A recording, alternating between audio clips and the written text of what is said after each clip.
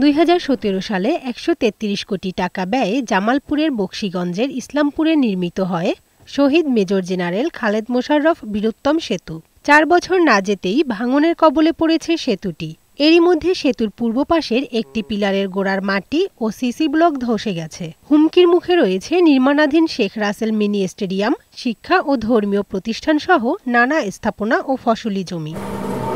স্থানীয়দের অভিযোগ নদ থেকে অবৈধভাবে বালু উত্তোলনের কারণেই সেতুসহ আশপাশের এলাকায় ভাঙন শুরু হয়েছে।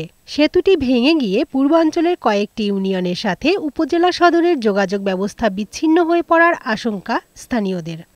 কোটি কোটি টাকা খরচ করছে এই ব্রিজটার উপরে কিন্তু এই ব্রিজটা এখন হুমকির মুখে পড়ছে। দুই সাইডে তো পাইলিং নাই কোনো কিছু নাই সাধারণ পানি আছে এখন ভেঙে গেছে সেগা যদি বালু তোলা বন্ধ না হয় তাহলে অচিরে ব্রিজটা ধসের মুখে পড়ে যাবে আর কি।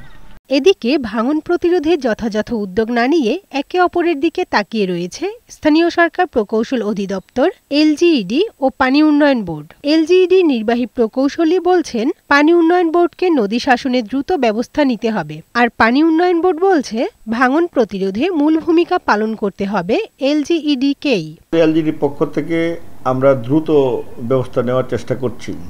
তবে নদীটি যেভাবে ভাঙছে পানোন্নয়ন বোর্ড নদী শাসন ব্যবস্থা গ্রহণ না করলে বৃষ্টিসহ ওই বিস্তীর্ণ এলাকা খুবই হুমকির সম্মুখীন হয়ে পড়বে। ভাঙন প্রতিরোধে বা প্রয়োজনীয় ব্যবস্থা গ্রহণের ক্ষেত্রে এলজিডিকে এখানে মূল ভূমিকাটা নিতে হবে।